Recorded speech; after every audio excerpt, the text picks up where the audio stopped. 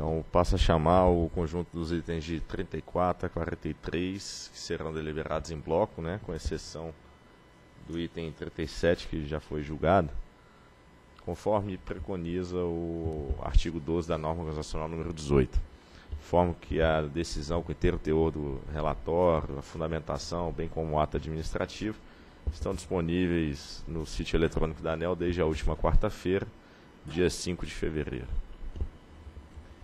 Bem, primeiro indago se tem algum dos diretores, algum interessado que deseja fazer destaque de algum item da pauta. Não havendo, submeto à votação os itens então do bloco, os itens 34 a 43, exceto o 37 que já foi deliberado. Em votação então o bloco. Eu voto pela aprovação dos itens em bloco. É, acompanho os relatores para todos os processos do bloco. Voto pela aprovação de todo o bloco. Também voto pela aprovação do bloco composto dos itens 34 a 43, exceto o 37. Esse é. Então, sendo esses os últimos itens da pauta, declaro encerrada essa quarta reunião pública ordinária da diretoria. Boa noite a todos.